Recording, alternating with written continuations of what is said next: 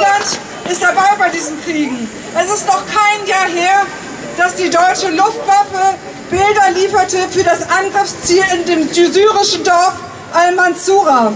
In der nächsten Nacht wurde es von US-Bombern angegriffen. Es handelte sich um eine Schule, in der Flüchtlinge untergebracht waren. Damals hieß es, 33 Menschen sind umgekommen, darunter viele Frauen und Kinder. Heute wissen wir, es gab rund 200 Tote. Ich sage, das war ein Verbrechen und ich frage, wie viele Al-Mansuras gab es und gibt es noch, von denen wir nichts wissen und nichts in den Medien lesen. Nun heißt es, der IS sei geschlagen, doch wir sehen, der Krieg in Syrien geht weiter. Die ausländischen Mächte führen mittlerweile auf syrischem Boden gegeneinander Krieg. Und wenn es nach dem Willen der sogenannten Verteidigungsministerin von der Leyen geht, mischt Deutschland weiter mit. Und ich sage ja, nein, die Bundeswehr hat nichts im Mittleren Osten zu suchen. Sie hat auch nichts in Afghanistan zu suchen, auch nicht in Mali. Die Bundeswehr muss umgehend aus allen Auslandseinsätzen zurückgezogen werden.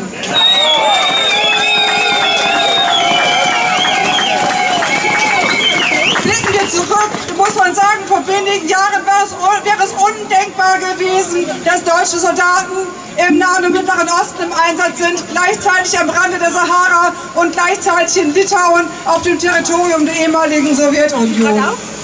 Und gestern forderte von der Leyen, dass noch ähm, ja, mehr entschlossen weitere Einsätze in Zukunft ähm, erfolgen sollen, dass es mehr Entschlossenheit beim Einsatz von Militär geben soll. Wir sagen nein, wir sagen, wir haben genug mit diesen Tabubrüchen.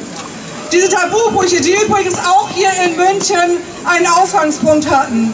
Vor vier Jahren war es die Münchner Sicherheitskonferenz, als der damalige ähm, Außenminister Steinmeier, dann der Joachim Gauck und von der Leyen sagten, Deutschland dürfe, Zitat, nicht mehr von der Seitenlinie zuschauen.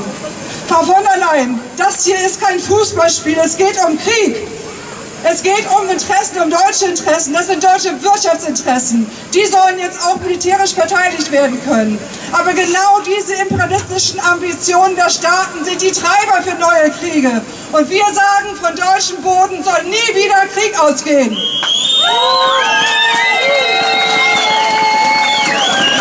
Gucken wir in die Welt, wie sie in den letzten Jahren angeblich sicherer geworden ist durch diese Politik. Vorgestern kam eine Studie von Save the Children raus. Eins von sechs Kindern auf der Welt lebt mittlerweile in einem Kriegsgebiet. Das sind 357 Millionen Jungen und Mädchen. Das bedeutet einen Anstieg um mehr als 25 Prozent seit Anfang der 90er Jahre. Diese 357 Millionen Kinder werden groß mit der Angst vor Bürgerkrieg oder Bombardierungen aus der Luft. Immer mehr Mädchen und Jungen werden verstümmelt oder sterben. Die Zahl ist seit dem Jahr 2010 um 300 Prozent angestiegen. Und auch die Zahl der Vorfälle, bei denen Kindern der Zugang zu humanitärer Hilfe verweigert wird, ist im gleichen Zeitraum um 1500 Prozent gestiegen. Die Bilder von den ausgemergelten Kindern im Jemen oder in Ruta sind unerträglich und sie sind eine Anklage an diejenigen, die die Hilfskonvois blockieren. Und sie sind eine Anklage gegen die Architekten der Geopolitik, die auf Konferenzen wie hier in München austüfteln, was sie für Stabilität halten.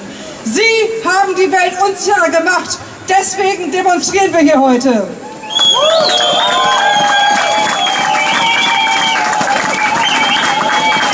Krieg und Armut zwingt Menschen zur Flucht.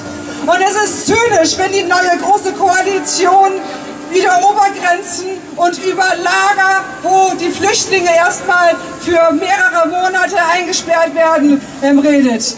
Hören Sie endlich auf, die Flüchtlinge zu bekämpfen. Öffnen Sie die Grenzen für Flüchtlinge und schließen Sie für Waffen.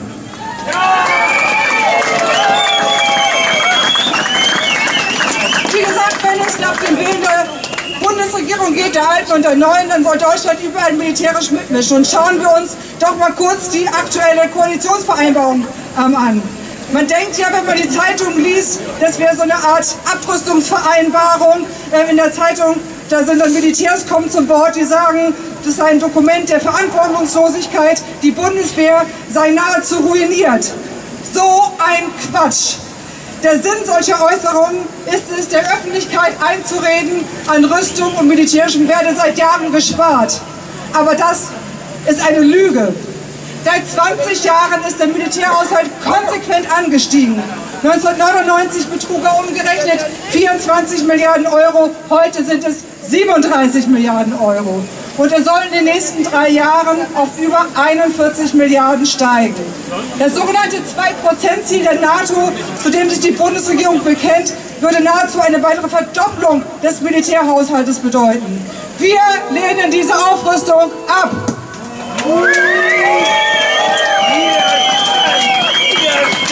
Die GroKo ist entschlossen, die Bundeswehr weiter aufzurüsten und die Rüstungsindustrie, der Rüstungsindustrie fette Profite zu verschaffen. Das ist ein gefährlicher und ein teurer Irrweg. Abrüsten, nicht aufrüsten ist das Gebot der Stunde. Wir haben, obwohl der SPD-Kandidat Schulz Wer erinnert sich noch an ihn? Der, der, hat im Wahlkampf gesagt, er setzt sich für den Abzug der Atombomben ein. Was finden wir im GroKo-Papier? Ein Bekenntnis zur sogenannten nuklearen ähm, Teilhabe und zur nuklearen Abschreckungsdoktrin der NATO. Wir sagen, Atomwaffen abziehen und zwar sofort. Wir werden mit der neuen großen Koalition die Beschaffung, äh, die Entwicklung und Beschaffung von Kampfdrohnen haben. Zuerst eine Übergangslösung und später eine Eurokampfdrohne. Und drittens, äh, die SPD und die CDU schreiben von einem Aufbruch für Europa. Das hört sich für viele so an, als sei das ein Bekenntnis gegen Nationalismus und für Völkerverständigung. Aber das ist falsch. In der Koalitionsvereinbarung wird Europa als PESCO buchstabiert, übersetzt ins Deutsche als ständig strukturierte Zusammenarbeit. Dabei geht es um nichts anderes als einen europäischen Verteidigungsfonds, ein europäisches militärisches Hauptquartier und drittens europäische Rüstungsprojekte, vor allen Dingen bilaterale Projekte unter anderem zwischen Deutschland und Frankreich. Mit anderen Worten, wenn die GroKo mehr Europa verspricht, verspricht sie mehr Geld für Rüstung und für die Rüstungsindustrie sowie mehr internationale Einsätze. Außen steht Frieden drauf, innen steckt Krieg drin. Das ist kein Aufbruch, sondern eine europäische Waffenbrüderschaft. Und wir wollen Kriegsbeteiligung, weder alleine noch im Rahmen der EU. Wir sagen Nein zum Krieg.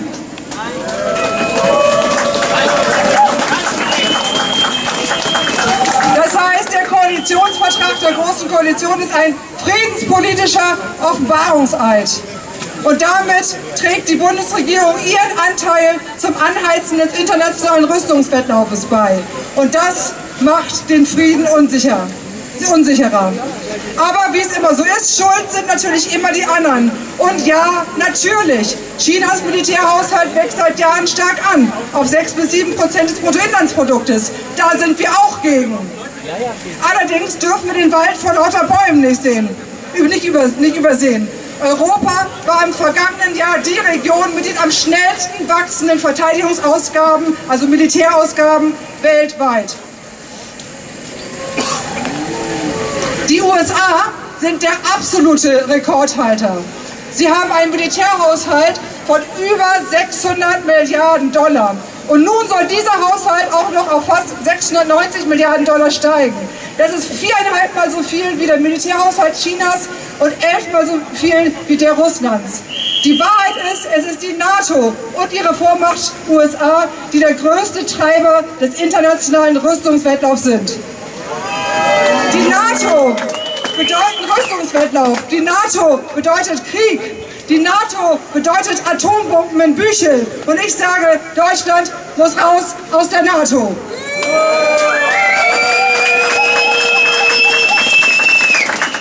Und wofür brauchen die Mächtigen ähm, dieses alles? Wofür brauchen sie die Waffen? Am Ende für den Krieg gegeneinander. Und ich habe es am Anfang gesagt, Nie seit Ende der 80er Jahre war der Weltfrieden so gefährdet wie jetzt. Und das ist nichts anderes als ein Wahnsinn.